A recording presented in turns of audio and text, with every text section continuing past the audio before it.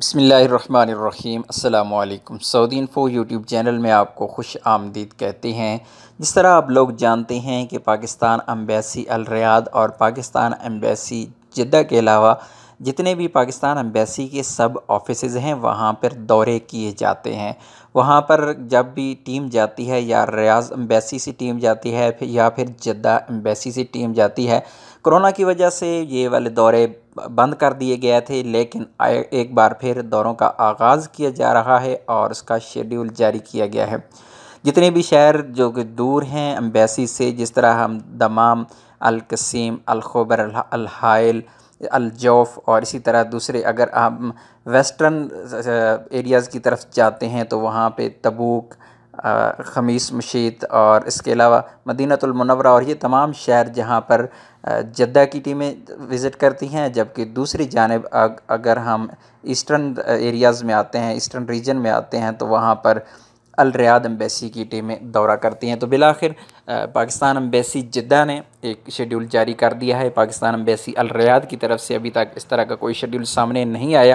لیکن امید کی جاتی ہے کہ انشاءاللہ جلد پاکستان امبیسی الریاض بھی اپنے ریجن کے دورے کرے گی اور لوگوں کے کام وہاں پر ہوں گے۔ تو آج ہم بات کرنے والے ہیں اسپیشلی جدہ کی، کہ سعودی عرب میں پاکستان کونسلیٹ جدہ نے کرفیو کے خاتمے کے بعد مدینہ منورہ اور دیگر علاقوں میں کونسلر وزٹ بحال کر دیے ہیں۔ اس حوالے سے شیڈول کا اعلان کر دیا گیا ہے۔ کونسلر خدمات کے لیے آنے والوں سے تمام احتیاطی اقدامات کی پابندی کرنے کی ہدایت کی گئی ہے۔ کونسلٹ ذرائع، کونسلیٹ ذرائع کے مطابق مدینہ منورہ میں کونسلر ٹیم دس اور گیارہ جولائی کو دورہ کرے گی۔ اس کا قیام پاکستان ہاؤس میں ہوگا۔ جیزان ابہا، یمبو، باہا اور دیگر علاقوں کے لیے بھی کونسلر وزٹ کی تاریخوں کا اعلان کر دیا گیا ہے۔ یاد رہے کہ مدینہ المنورہ کے لیے یہ والی ٹیمیں دس اور گیارہ جولائی کو جائیں گی اور جس کا جو اسٹے ہوگا وہ قیام ہاؤس، قیام ہوگا، وہ پاکستان ہاؤس میں ہوگا۔ کونسلیٹ ذرائع کا کہنا ہے کہ کونسلر ٹیم ہر علاقے میں دو دن کا قیام کرتی ہے۔ پہلے دن ڈاکومنٹس جمع کیے جاتے ہیں۔ اور دوسرے دن انہیں واپس کیے جاتے ہیں۔ یعنی ایسے کام جو فوری طور پر ہونے والے ہوتے ہیں، وہ دوسرے دن کر کے واپس کر دیے جاتے ہیں یا پھر ان کے ڈاکومنٹیشن جس طرح آپ نے پاسپورٹ رینیو کروانا ہے، آئی ڈی کارڈ بنانا ہے یا کوئی اس طرح کا ایشو ہے جس پہ ٹائم زیادہ لگتا ہے، تو وہ اگلے دورے میں جا کے آپ کا کور ہوتا ہے۔ لیکن فوری طور پر کام کرنے والے دوسرے دن ہی آپ کو کر کے واپس کر دیے جاتے ہیں۔ یاد رہے کہ سعودی عرب میں کرونا وائرس کے پھیلاؤ کو روکنے کے لیے عائد پابندیوں کے باعث کونسلر خدمات اور وزٹ معطل کر دیے تھے۔ کرفیو اٹھائے جانے کے بعد ریاض میں پاکستانی سفارت خانہ اور جدہ میں کونسلیٹ ویزا سروس کے علاوہ اپنی تمام کونسلر خدمات بحال کر چکا ہے۔ اس میں پاسپورٹ، نادرہ، شناختی کارڈ دستاویزات کی تصدیق اور کمیونٹی ویلفیئر سے متعلقہ تمام سروسز شامل ہیں۔ کونسلر خدمات کے لیے سعودی عرب میں مقیم پاکستانی سفارت خانے اور کونسلیٹ سے رجوع کر سکتے ہیں۔ ہم آپ کے ساتھ ایک شیڈیول شیئر کر رہی ہیں جو کہ مدینہ المنورہ، جیزان، ابہا، یمبو البہا مدینہ، ان سٹیز میں جو پاکستان امبیسی جدہ نے وزٹ کرنے ہیں، وہ والی ڈیٹس اور وہاں کے موبائل نمبر یا وہاں پر کوئی بھی کانٹیکٹ نمبر آپ کو ہم اس ویڈیو میں شیئر کر رہی ہیں۔ تو آپ سکرین پر دیکھ سکتے ہیں کہ مدینہ المنورہ میں دس اور گیارہ جولائی دو ہزار بیس کو یہ وزٹ ہوگا۔ پاکستان ہاؤس میں یہ اسٹے کرے گی ٹیم اور یہاں پر نمبر بھی آپ کو لکھا نظر آ رہا ہے، یہاں پر آپ کانٹیکٹ بھی کر سکتے ہیں۔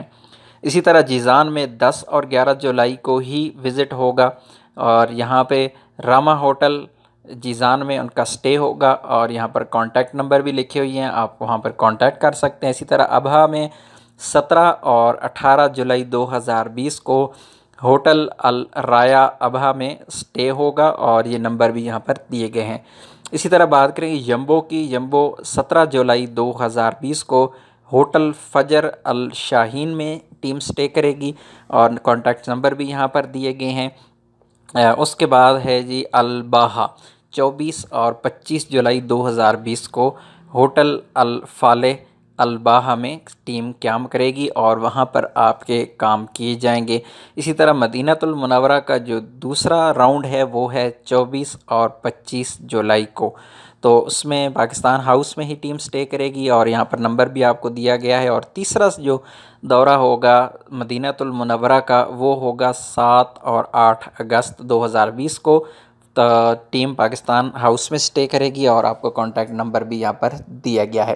سفارت خانے اور کونسلیٹ نے کمیونٹی سے درخواست کی ہے کہ وہ کرونا وبا سے بچاؤ کی احتیاطی تدابیر پر عمل کریں اور سماجی فاصلے کا خصوصی خیال رکھیں۔ پاکستانیوں کی ایک بڑی تعداد کونسلر خدمات کے لیے ہر روز سفارت خانے اور کونسلیٹ سے رجوع کرتی ہے۔ سعودی عرب میں کرونا وائرس کے پھیلاؤ کو روکنے کے لیے حفاظتی تدابیر کے تحت پچاس سے زیادہ افراد کے جمع ہونے پر مکمل پابندی ہے۔ عوامی مقامات پر ماسک اور دو میٹر کا سماجی فاصلہ برقرار رکھنا بھی لازمی ہے۔ امید ہے آج کی ویڈیو اچھی لگی ہوگی۔ ویڈیو کو لائک کیجیے گا۔ ملتے ہیں ایک اور نئی ویڈیو کے ساتھ۔ تب تک کے لیے اجازت دیجیے۔ اللہ حافظ۔